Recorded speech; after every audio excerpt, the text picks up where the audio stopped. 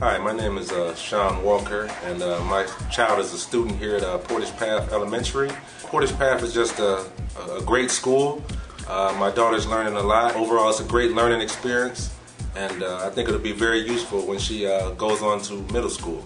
I'm a parent, and this is my APS.